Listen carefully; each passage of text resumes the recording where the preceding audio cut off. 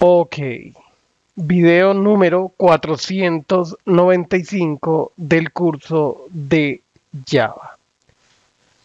Vale, ya tenemos el primer reporte.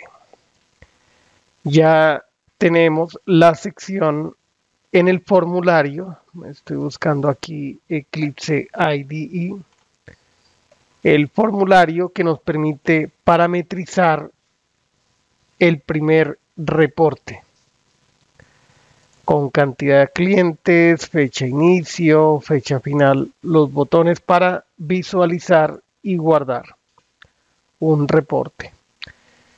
El segundo reporte consiste en, voy a abrir aquí la presentación, este reporte, reporte con los tipos de servicio de lavandería más solicitados.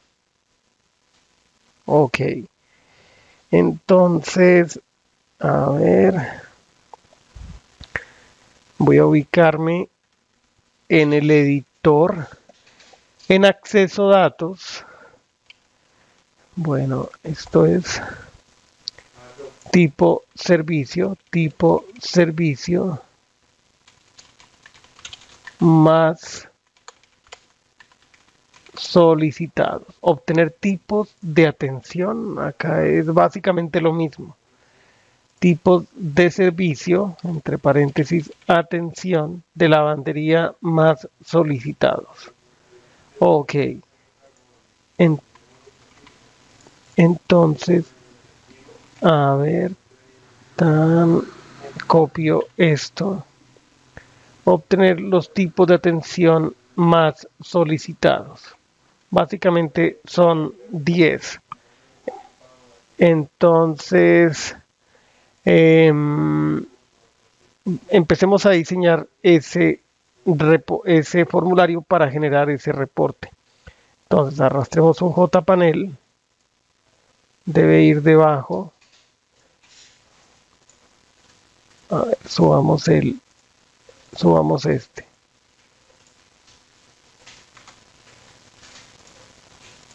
No, así no es. A ver. Vayamos al código. Ok. ¿Dónde está reporte? Panel. Dos objetos J panel hay aquí. J panel. Este es el primero.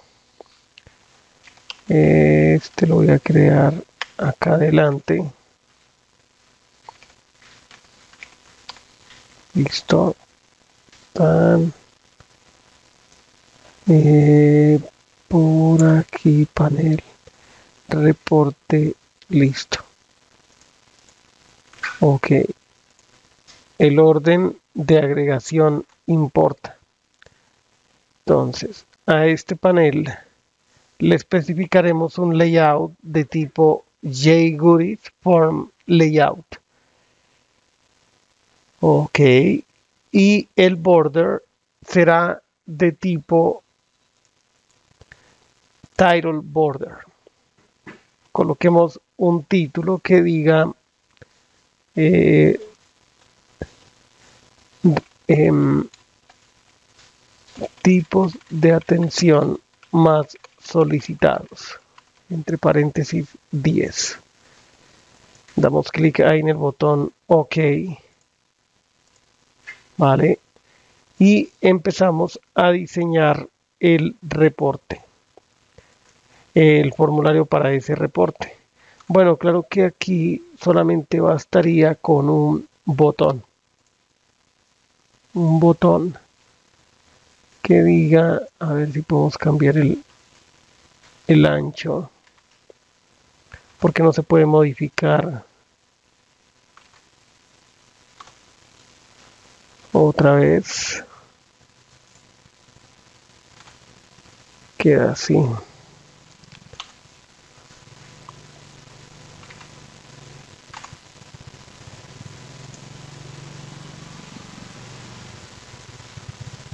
Cambiemos el tipo de layout y le colocamos no de tipo formulario, sino de tipo border layout. Ahora sí arrastramos el botón. Ok. Entonces, bueno, serían dos botones, el de visualizar y el de guardar. Control Z. Y hacemos lo siguiente, en lugar de un border layout, lo podemos dejar de tipo grid layout. Y la configuración sería cuántas columnas, una, cuántas filas, dos, pues son dos botones. Ok, button, este sería el primero. Y este el segundo. El primer botón va a ser BTN, reporte 1, visualizar. Aquí es reporte 2, para que no colisione con el otro nombre. De variable, visualizar sigue el botón de guardar a ver btn reporte 2 guardar. El texto del botón va a ser guardar. Listo. Podemos dejar un espacio entre los botones. Seleccionamos el panel.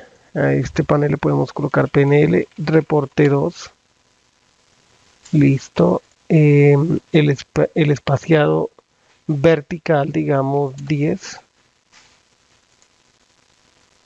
puede ser así aumentémoslo en 15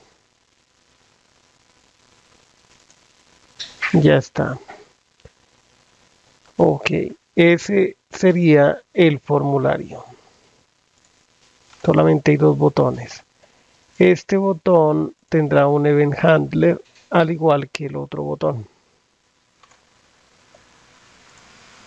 Clic derecho. Clic derecho, Add Event Handler, Action, Action, Perform. Listo. Entonces guardamos esto, nos dirigimos a IntelliJ y en el, y en el archivo generación reportes frame aplicamos lo siguiente. Simplificamos para que quede una expresión lambda. Listo. To generar, eh, visualizar reporte 2. Y aquí sería eh, guardar reporte 2. Un commit